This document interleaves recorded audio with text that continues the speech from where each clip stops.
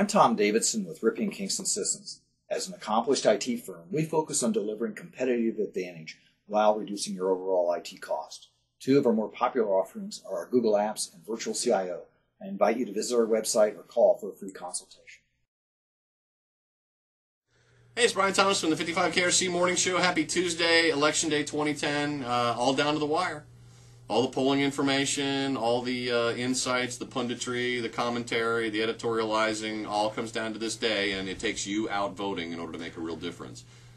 2008 was hope, now 2010 is change, and hopefully change we will have. And as a warning shot over the bow of the Republicans to get elected, I presume that at least some will, uh, we're watching you. We'll be watching you more than the Democrats because, of course, most people that are fiscally responsible already know what the Democrats are all about. They are about budget expansion. They are about government expansion. They're about deficit expansion. More government control, less freedom you get. That's the bottom line, and it's a fact. So we know that.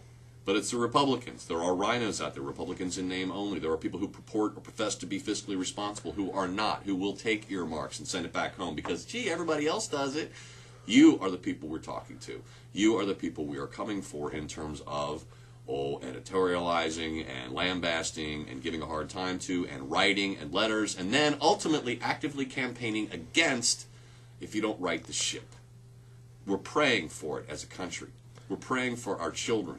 I've got two children. Lots of people have children. And even if you don't have children, you shouldn't be so selfish as to want to completely annihilate a country based upon a debt.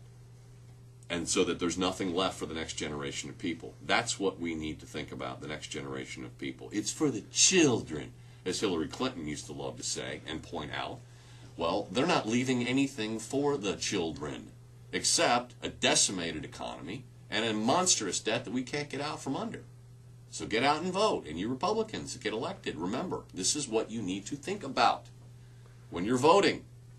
Have a great day. We're going over the election results tomorrow. I hope you can tune in, and I've got my fingers crossed with cautious optimism. Have a fantastic day.